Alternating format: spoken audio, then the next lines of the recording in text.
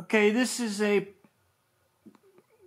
video to explain P0401 doesn't always mean insufficient flow.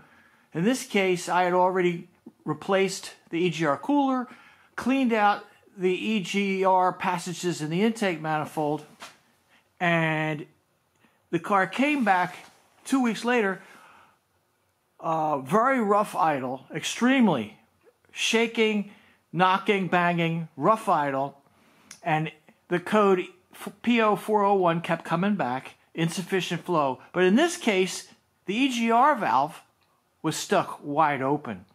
Now, there's two screws that you can see there on either side of the black plastic cap. That's that's some AC coils for the stepper motor inside. Okay, I took the EGR valve off of the car, mounted it in a vise, and I carefully unscrewed those two Phillips screws and lifted the plastic cap.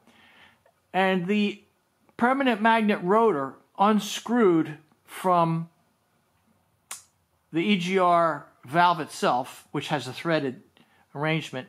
And I was able to use uh, intake manifold cleaner to dislodge the crud that had developed on the shaft and caused the shaft to stick in the wide open position.